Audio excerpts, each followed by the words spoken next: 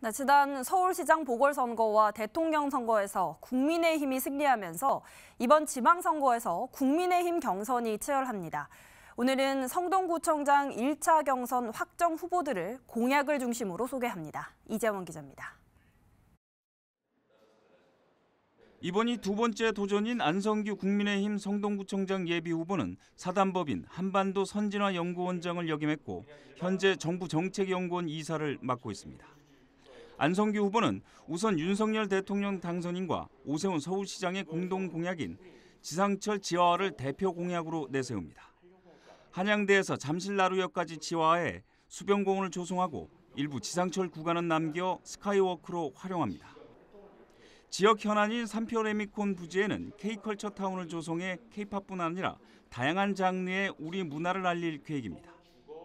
서울숲 인근에 게임 산업단지를 유치하고 경의중앙선 왕십리역과 응봉역에 스카이돔을 세워 지상을 공헌하는 것도 공약으로 내걸었습니다.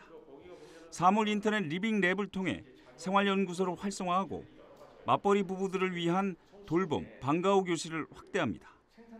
또 성동구에서 5년 이상 거주한 청년을 대상으로 푸드트럭 운영 자격을 줘 청년 일자리 창출에 기여한다는 계획입니다.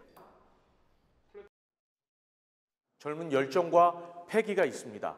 그리고 저는 정책학을 전공한 행정학 박사의 전문성과 그리고 아, 기업 경험을 통한 경영 마인드가 있습니다. 그래서 이 노하우를 가지고 우리 지방자치 행정에 접목을 시켜보고 싶습니다.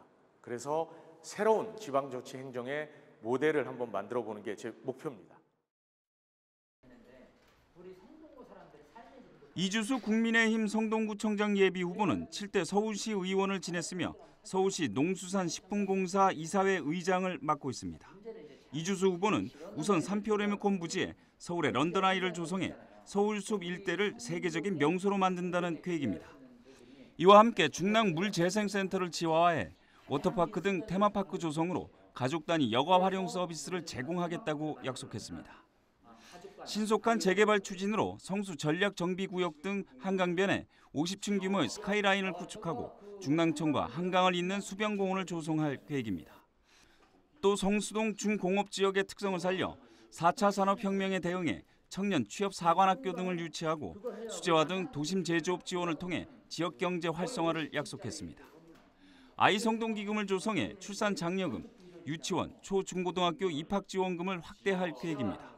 금난시장 주변 지구 단위 계획 재정비를 통해 주차난을 해결하고 마장동 한전 물류센터 이전에 따른 부지 개발 추진을 약속했습니다. 그래서 아, 국회 보좌관과 아, 또 서울시의원의 행정 경험을 가진 저 이주수가 가장 적합하다고 생각합니다. 아, 내 삶이 행복한 성동 또 주인이 주민이 주인인 성동을 반드시 만들고 또 오세훈 시장과 같이 일을 해본 경험이 있는 저 이주수가 가장 적합하다고 생각합니다. 국민의힘 기초단체장 경선은 오는 21일과 22일 양일간 치러지며 23일 본선 후보자가 결정됩니다. BTV 뉴스 이재원입니다.